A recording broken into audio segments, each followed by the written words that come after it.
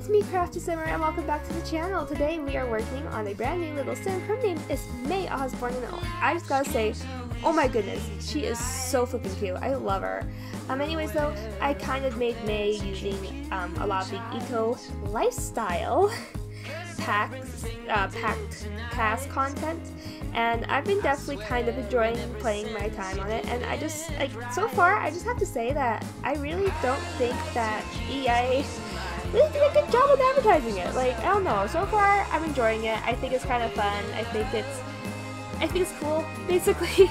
Anyways I hope you guys enjoyed this little CAS and I'll see you all next time. Bye guys